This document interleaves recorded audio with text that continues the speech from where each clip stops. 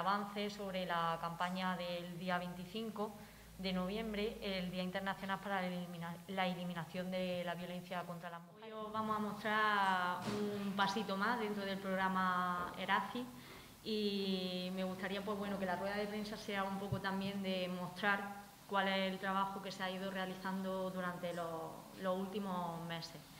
Eh, hoy os presentamos el blog Enredado, eh, que consiste en un blog corporativo profesional eh, puesto en marcha dentro del Plan Local de Intervención en Zonas Desfavorecidas que está enmarcado dentro del programa ERACI. Concretamente, esta actuación es la actuación 20107 del eje 2, eh, Políticas Públicas para el Bienestar Social y la Cohesión Social.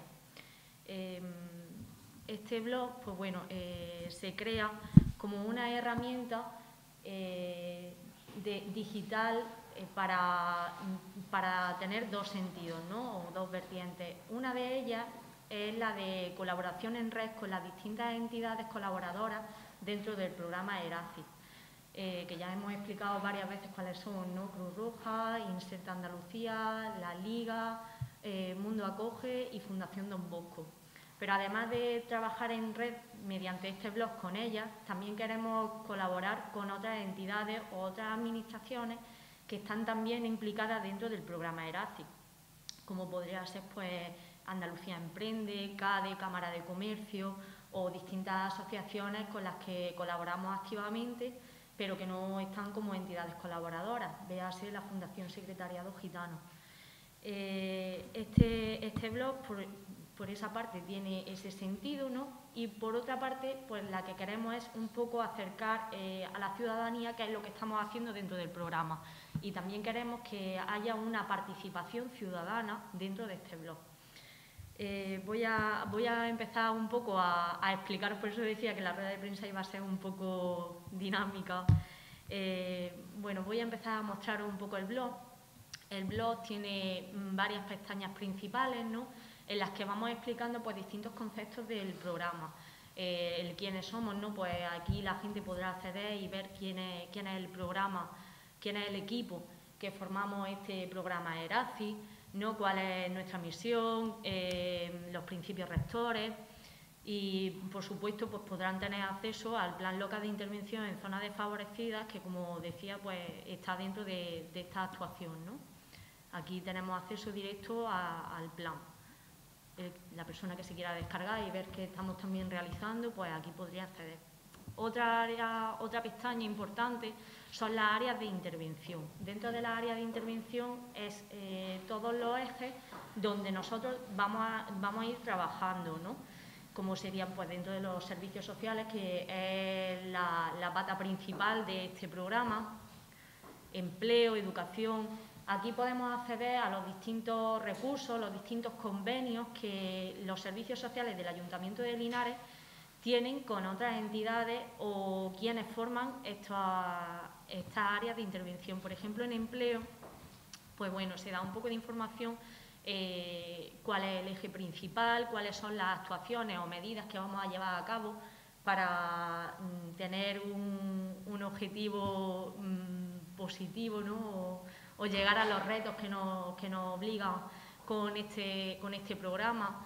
Por ejemplo, también podemos acceder a, ver quiénes son los colaboradores o quiénes forman parte de las mesas sectoriales de las distintas, de las distintas actuaciones. Pues, por ejemplo, aquí podríamos ver que en la mesa sectorial de empleo no solo está el Ayuntamiento de Linares, como he dicho antes, pues está CADE, está el Servicio Andaluz de Empleo, que es con los que, Cámara de Comercio, que es con los que nosotros activamente trabajamos a diario. En otro sentido, pues bueno, también damos información o esta pestaña, la de entidades colaboradoras, sirve para, dos fines. Por una parte, dar información de las distintas actuaciones que las entidades colaboradoras están llevando a cabo en, Linares, en la zona desfavorecida, y por otra parte también para que ellos puedan colgar todos los recursos que, que están teniendo a disposición de la ciudadanía en estas zonas. Por mostraros simplemente, pues por ejemplo, Cruz Roja eh, pues tenemos cuáles son los principios rectores de Cruz Roja, ¿no? las áreas de intervención dentro de este plan ERACI, eh, los distintos talleres o formaciones que se van a llevar a cabo o que tienen previsto llevar a cabo dentro de, este programa, cuando se, comienzan. Y luego, por supuesto, pues bueno, eh, el contacto, porque nosotros también vemos que, muchas veces a los servicios sociales no nos llegan las personas usuarias y van a otro tipo de entidades. Entonces también queremos facilitar esta información para que cualquier persona pues, que no quiera directamente acudir al Ayuntamiento de Linares y quiera acudir a una entidad colaboradora, pues pueda tener acceso directo a este tipo de información y el contacto. Otra pestaña, para mí es de las más importantes que, tiene este blog, es la de recursos. Aquí vamos a ir colgando todos los recursos o actuaciones que se van a ir o que se están realizando dentro del programa ERACI. Eh, pues por ejemplo tendremos la normativa que es la que nos rige, eh, tenemos la Carta de Derechos y Deberes que mm, estamos realizando un poco ese, ese, cómo vamos a difundir esa información, ¿no? Creemos que es muy importante que tanto los profesionales de los servicios sociales como las personas usuarias de los servicios sociales sepan cuáles son sus derechos y sus deberes. Entonces, esto es algo que vamos a iniciar próximamente a difundir también.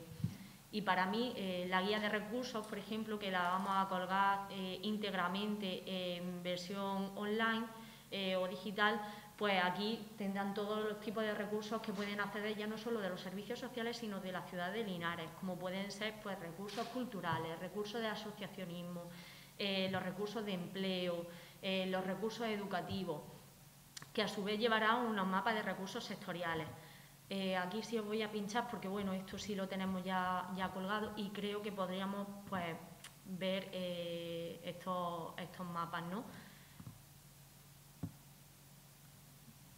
Pues aquí, por ejemplo, eh, podríamos acceder a esta información, bueno, no se ve muy bien aquí ahora mismo, pero bueno, que tendríamos aquí acceso a todos los recursos mm, educativos y de empleo en Linares. Y además también están geolocalizados geolocalizado.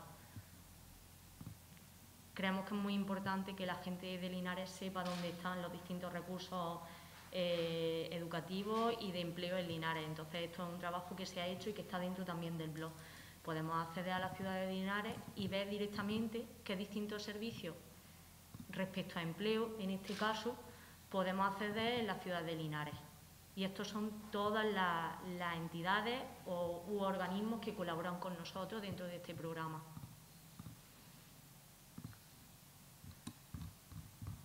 Luego, por otra parte, dentro también de la pestaña de recursos, eh, algo que me parece de lo más importante eh, en la situación que estamos viviendo, es la de recursos de alfabetización digital.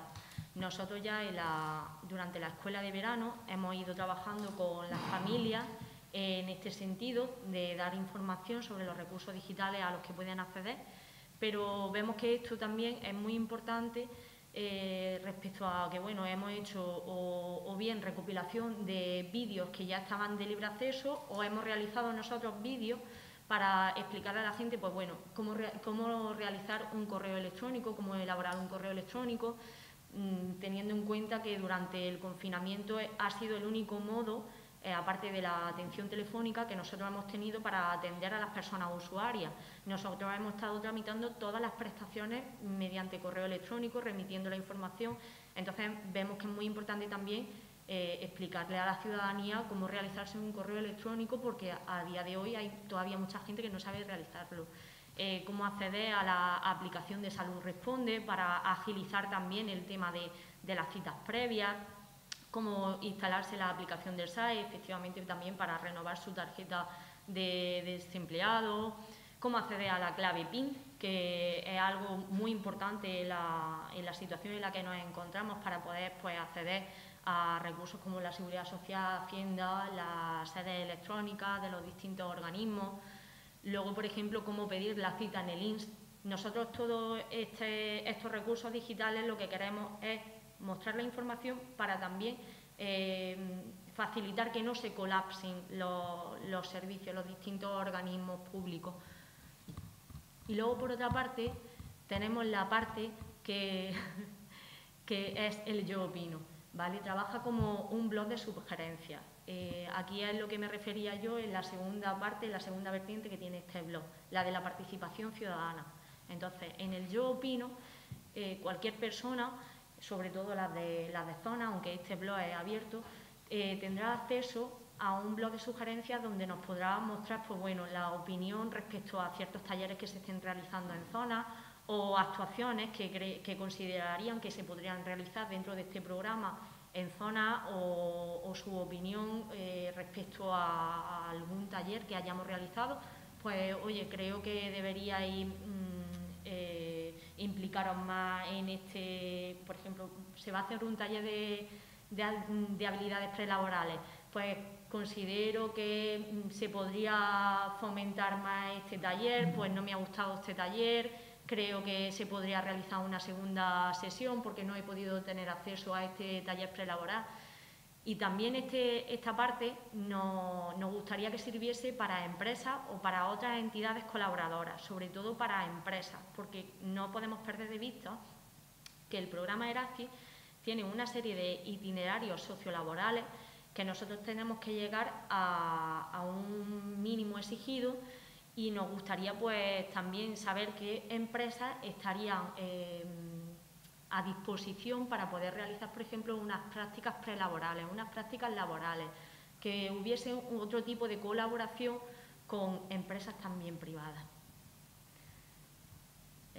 El, blog también pues consta de distintas categorías a la derecha, donde se va a poder acceder a, diversa información en la ciudad de Linares. Pues, por ejemplo, los cursos de formación que se van a realizar dentro de las entidades colaboradoras o dentro de otras asociaciones que no estén eh, dentro del programa ERACI, eh, programas que haya de formación o de talleres de empleo, por ejemplo, en Cámara de Comercio, ¿no? como podría ser el PICE o programas orientados a mayores de 40.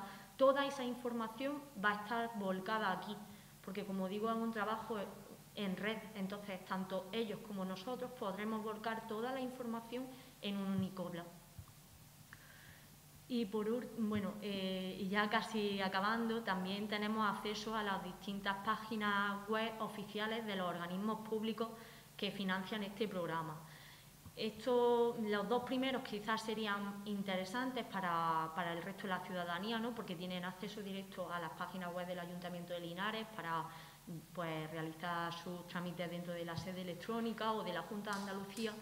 Pero las dos, las dos últimas sí nos parecen interesantes porque es la de la Unión Europea, los fondos sociales europeos y la de los fondos europeos en Andalucía. Entonces creemos que esto también puede ser muy importante para otras entidades, otros organismos que quieran estar al día de subvenciones, de proyectos colaborativos en Europa que se puedan realizar, etcétera. Por último, pues bueno, eh, al final del blog tenemos el contacto eh, directo con la persona encargada de este blog dentro del programa ERACI, el correo electrónico y el horario de atención.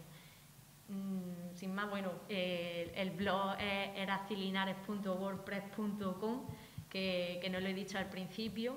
Y bueno, simplemente agradecer a las personas implicadas dentro del programa eh, en la elaboración de este blog, porque tenemos mucha, mucha ilusión y porque este, este blog funcione correctamente.